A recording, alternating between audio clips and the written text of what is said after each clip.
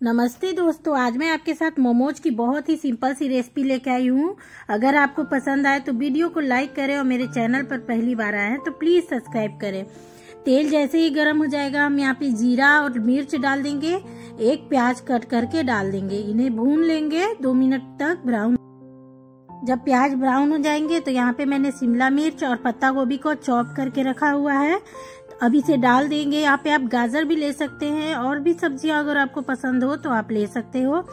तो ये अब इसके बाद इसे हम भून लेंगे। ये हल्का सा सॉफ्ट हो जाएगा, तब तक हम इन्हें भूनेंगे। देखिए, यहाँ पे शिमला मिर्च और पत्ता गोभी सॉफ्ट हो गया है। इसके बाद हम इसमें डाल देंगे हल्दी पाउडर।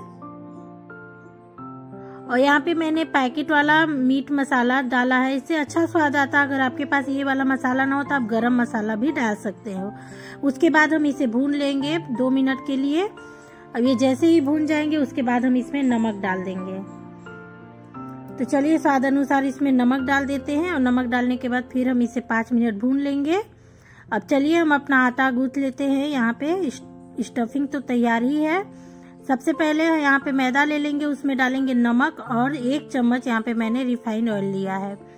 अब पानी डाल के इसे आटा से, आटा जैसे गूथते हैं, बिल्कुल उसी तरीके से गूथ लेंगे। और यहाँ फिलिंग मेरी तैयार है, अब इसे हम ठंडा होने के लिए रख देते हैं। आटा भी मेरी गूथ गई है, अब इसे भी 10 मिनट के लिए रेस्ट पर छोड़ देते हैं। 10 मिनट हो गया है दोस्तों, अब चलिए हम इन्हें बना लेते हैं। तो यहाँ पे मैं छोटी छोटी इसकी लोई ले लूँगी। बिल्कुल जैसे पूड़ी बनाते हैं, उतना छोटा छोटा हम इसका लोई ले लेंगे। और पूड़ी की तरह हम इसे गोल बेल लेंगे। हल्का हल्का सा आटा छिड़क लेंगे, सूखा आटा।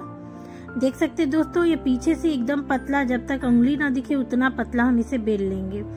अब इसमें फिलिंग को भर लेंगे और मोमोज की तरह डिज़ाइन बना देंगे। देखिए, इस तरीके से बस मोमोज बन के तैयार है तो बाकी इसी तरीके से हम बना के तैयार कर लेंगे।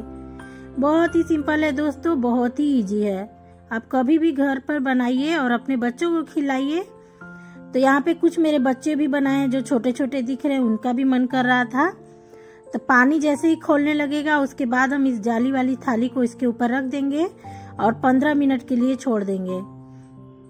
तो देखिए दोस्तों, पंद्रह मिनट हो गए हैं। एक चम्मच से मैं इसमें चेक करके देख रही हूँ तो ये बिल्कुल पक गए हैं। अब चलिए इन्हें ठंडा होने के लिए निकाल लेते हैं। और फिर यहाँ पे बन के तैयार है गर्मा गर्म मोमोज। आपको कैसी लगी कमेंट करके ज़रूर बताइएगा। अगर आपको पसंद आए तो प्लीज़ वीडियो को लाइक करिएगा, मेरे चैनल को ज़रूर सब्सक्राइब करिएगा। इसके साथ मैंने हरी चटनी बनाई थी, जो बहुत ही टेस्टी लगी थी। आप चाहे तो मोमोज की चटनी भी बना सकते हैं। थैंक यू दोस्तों, फिर मिलती हूँ अगले वीडियो में। तब तक के लिए बाय बाय